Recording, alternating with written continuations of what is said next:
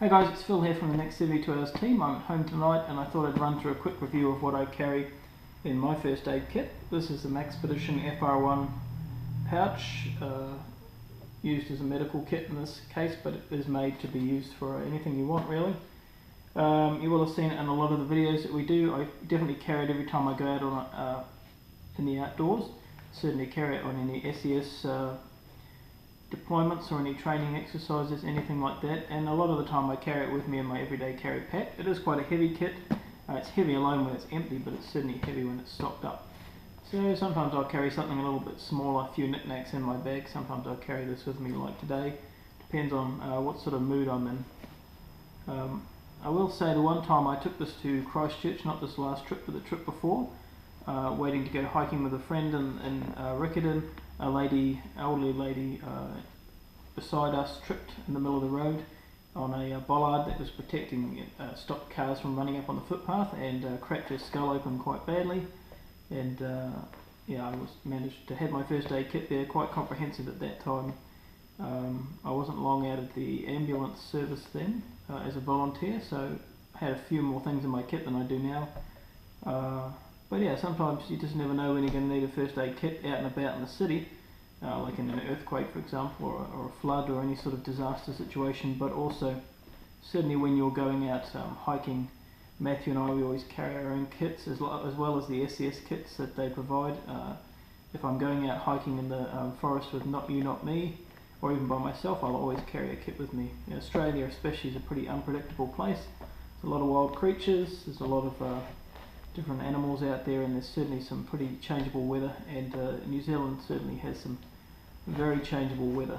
So um, you know things can happen in a, in a, very short period of time rocks can get slippery you can take a fall uh, you can get cut here you've got poisonous creatures everywhere so well exaggeration but there are certainly some very uh, toxic and poisonous creatures here and so it's good to have some stuff on board to deal with that. Uh, and then your average your own personal medicine etc Alright, so before I actually go over what's in my kit, I just wanted to say uh, a little note here. I think the carrying of a first aid kit uh, is vitally important, but I think uh, not only carrying the kit's important, but uh, what you carry in it is, is vital as well. And uh, throughout my time in, uh, well, as a volunteer with the ambulance service here in the search and rescue and the SES sort of side of things, you see a variety of people with a, you know, a, a very varied range of, of things carried in their kits.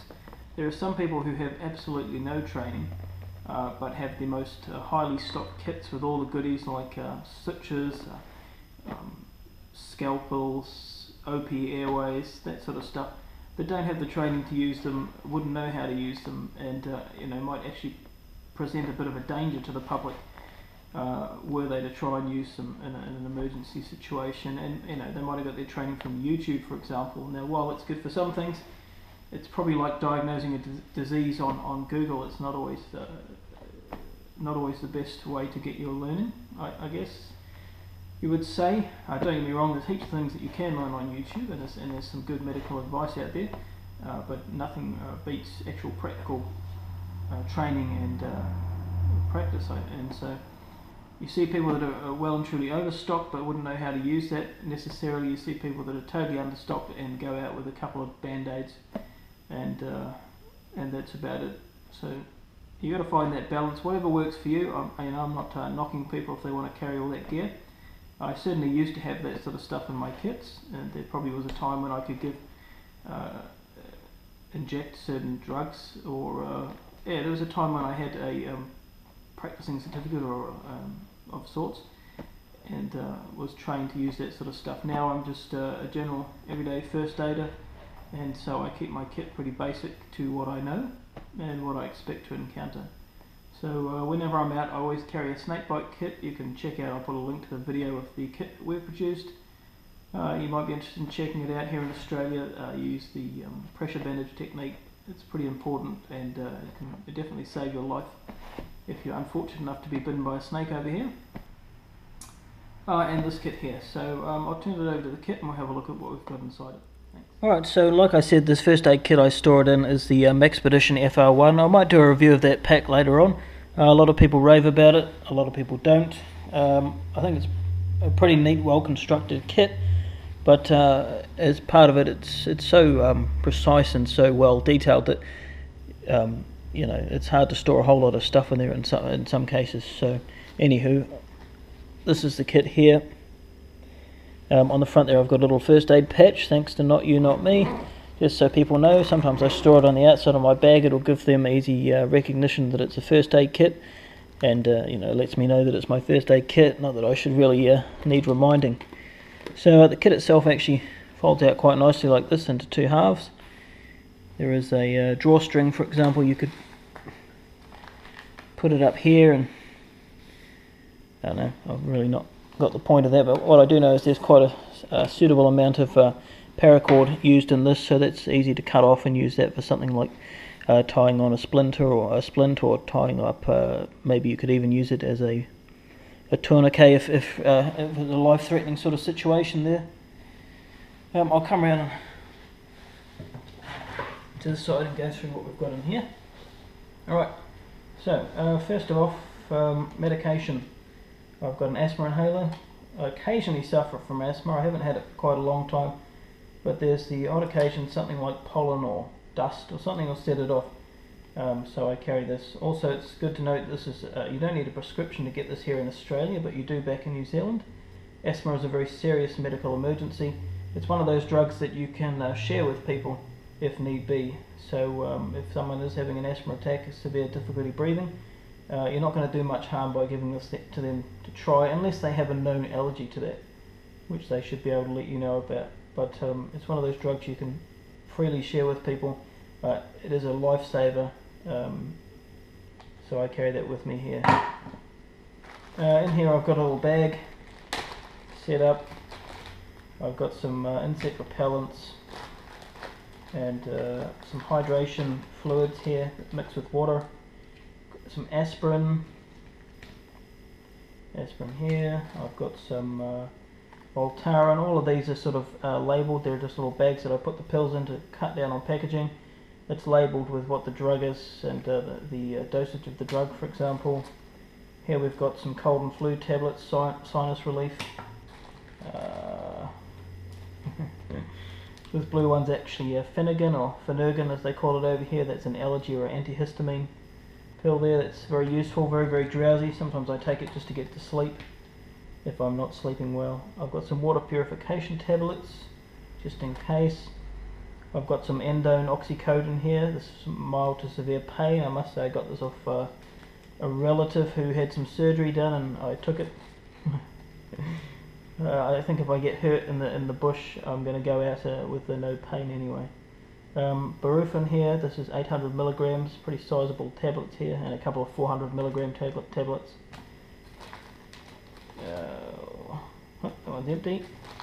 Uh, this one is just um, I got these off a Korean friend of mine, but this is, it says here, it says uh, Gaviscon, so pretty much it's just uh, for those tummy, tummy upsets and things like that, uh, antacids or indigestion sort of thing. And both of these are the same sort of product, one's a powdered one, one's a liquid, one shot sort of thing, so they're pretty useful to have. Again, the medicines in the first aid kit, it's definitely a personal uh, preference yeah, you know, people are going to want to carry different brands, different medicines. They might have their own allergies and so on. So, you know, it's good to get an idea. But again, the, the first aid kit really has to be a personal, personal thing there. Alright, uh, next on the thing, I've got a uh, pen torch here. On off. This is great for checking the reactions of your pupils. Uh, it can indicate things like head uh, head trauma or uh, brain damage sort of thing. Um, yeah, you often see that in the movies. You're basically looking to see how um, how the pupils dilate and whether they do so evenly. Um, if you've got it, great. You can take down that sort of information. Sort of, uh, is, are they dilating at the same time? Are they you know, do they come back to the same uh, size at the same time, or does the left react, right react? All that sort of stuff might be useful for medical personnel as an observation. Uh, in here I've got a Sharpie pen, pretty much because they uh, uh, a waterproof pen. They work very well, they last forever. Great for marking, writing down stuff, information about a patient, for example. Uh, next I've got some mini shears. I do have a pair of bigger shears somewhere, but this fits quite nicely in the pack like this. Um, here I've got quite a selection of saline. Okay, um, this is one of the things I really think you can never have enough of. Uh, like I said, that lady in Christchurch, I, last time I was in Christchurch or the time before, a lady fell over and cracked her skull open um, quite badly, and uh, saline, we used saline, myself and another person who was an army medic, to uh, irrigate the wound and uh, get some dressings on there. So, you know, this stuff is fantastic. It's pretty cheap. You can find it on the internet in bulk bulk buys. Um, so, you know, I certainly recommend stocking up on that if you were looking to put together a good kit. And the thing that goes with that, of course, uh, things like this. You've got uh, sterile dressings. I've got quite a, a number of them here. Yeah, these are all just sterile dressing and gauze swabs, so they can be soaked in saline, and you can use that to clean out a wound, for example. Uh, looking after that lady, just as an example, back in Christchurch, I would have had a kit probably twice the size of this, and uh, gone through at least this much, if not twice as much uh, gauze, just trying to clean out the wound and then stop the bleeding and get it patched up. So uh, again, this is this stuff's pretty cheap if you buy it bulk. If you're just go into a chemist and getting it one off, two off, it is pretty expensive. But if you can find a good deal, maybe get together with some other outdoors people or preppers or whatever and, and put your money together and get a bulk purchase on the internet, you'll probably find that you can get it for a good price. And uh, while they do have um, expiry dates, quite frankly, when it comes to first aid, so long as it's not open, I don't think it's going to matter diddly squat uh, the amount of stuff that gets thrown out in, in the industry just because it's out of date. For your own personal first aid kit, I'm not going to worry about it. I've definitely got some here. I mean, this expired in 2008. It's just a sterile piece of gauze. Uh, I don't know if it's still sterile, but when it comes to if it's going to save my life, I'm not too worried about that being expired personally. But again, that's totally up to you. Here we've got some steri strips. Got a few packets of those. These are cool little uh, things used. Uh, they're pretty much strips to close the wound. If you've got a uh, wound that might need stitches in the field and you don't have any stitches, you can use these to close them up. I was once told that there's no no call for these or uh, place for these in the ambulance service, but certainly use these on a multitude of occasions. And uh, you know, um, if you don't have stitches at the time, they're they're definitely helpful to use uh, for those smaller smaller cuts and um, you know it's better than leaving that wound open and exposed to uh, anything that might get into it and cause an infection. Um, I have a signalling mirror in my first aid kit. Uh, I, I, don't know, I mean first aid, something might happen, you might need to signal someone. I've always got a whistle as well. Um, it's just a useful device to carry. So I always carry two of those on me, one in my survival kit and one in the first aid kit. Got some Stingose spray, as in sting goes away if you've been stung by something. Um, active ingredient, aluminum sulfate. It's pretty good for calming and soothing itches or swelling of stings and bites from things like sandflies, mosquitoes and wasps. Uh, and bees, etc., etc., vines and nettles. Of course, um, if you've got an allergy to bees and things like that, or a severe allergy, you might go into anaphylactic shock. You'd be wanting to keep your own medicines with you, you know, uh, in your first aid kit. Something like an EpiPen, depending, you know, whatever you've whatever you've got. But this is good. Uh, I don't have any allergies that I know of, and this seems to do a reasonable job of taking away some of that sting. Next, I carry this fantastic stuff. This is called Fixomull. It's actually reasonably expensive. Um, I've got quite a bit of it in here, or maybe some in my other first aid kit, but basically it's for using to uh, stick over wounds. So if you were going to put a, a, piece of gauze over a cut, and then you wanted to stick this to the body, it peels off like so. You expose that part of it here, and that will sit on your skin maybe like so with something underneath it to make your own sort of dressing or bandage. And it's very very good stuff. Very sticky but it, it doesn't hurt when it comes back off your skin. Uh, what was that? It was $3.95 a meter. It is pretty expensive but it's a fantastic product. It's got a bit discoloured and dirty there but anyhow it'll still do the job for me um, so it's Fixomull and uh, you can get that at most pharmacies these days or ambulatory suppliers uh, most important, of course, Probably should have mentioned that first. But I carry gloves. There's probably about five pairs of um, latex gloves. I don't carry non non latex gloves. This is just what we use in our snakebite kits and, and all our other kits, and so I, I use these ones myself. Um, if you've got an allergy to latex, for example, or you know whatever you carry, then you carry whatever uh, suits you. But this is what I'm carrying here. A uh, thermal emergency blanket. I have this one left over from uh, since I was uh, a volunteer with the St John Ambulance Service back in Christchurch. Um, it's never going to expire. It's basically just a blanket that you can uh, put around a patient, for example, if you want to keep them warm, stop them getting uh, stop them from getting any more exposure. If they're hypothermic, it's going to uh, seal in and reflect the heat back into their body, as opposed to allowing it to to escape and cool them down. They're actually very very effective uh, blankets, but again, if the person is already cold, then they're not going to do a great job at um, heating them back up again. So it's best, you know, I mean, it's, it's better than nothing, but it's best to get them while they've still got some warmth left uh, in their body. Alright, so all of this stuff was stored on this side of the kit here. You've got a mesh pouch at the back, you've got these uh, elastic straps here, and they actually can be divided into two. There, so you can put stuff in between that. Uh, here on the front you've got a, a, a large strap and then three smaller ones on top. So in that sense, it's a really well thought out pack.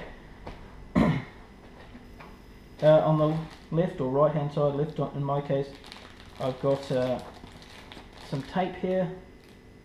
It's just a fixing tape. Uh, it's made of these little micro pores and it's been pre-cut so you can pretty much just tear this, prove me wrong, tear it like that to any sort of shape or size that you desire and it tears nice and straight. So great for affixing bandages or anything else to the body there. Under here I've got some alcohol wipes kept in a little baggie to uh, protect these packages. They're not waterproof so they get damaged I found out pretty easily. Under this one here I've got some iodine swabs for wound clean cleansing. All single use sort of stuff, all very cheap again. I mean we must have bought I think a thousand of these uh, for test, testing out. It was cheaper to buy a thousand than it was to buy, say, 20, almost, you know, almost uh, by the time you're paying for postage. So we've got a whole lot of these here. Great little things. Sting like nothing if you get this in a wound, but they'll certainly clean up pretty good. uh, on the left hand side here, I've got two heavy crepe bandages. So these are the ones we use in our snake bite kits. I guess this is a backup to my snake bite kit. It can, uh, I've got the snake bite kit specifically for snake bites, but these can also be used for anything such as uh, putting on dressings, bandaging a wound. Uh, you could use it to, um, well, pretty much anything you can use a bandage for. You can put your mind to. Uh, very, very useful thing to have. You can never have too many, I don't think, and especially these uh, heavy elastic bandages I should have said that um, have a very good uh, compression abilities. That's what you want to use for snake bite kits, or snake bites should I say. Uh, it's going to restrict that flow of the lymphatic system and give you time to get help. So that there, triangular bandage, a very useful thing to have, great for uh, broken arms, broken limbs, and also for uh, keeping limbs immobilized for example if you don't have any string or rope or paracord for example you can immobilize arms or legs with that just by tying them up. Fact I've got two of those in there.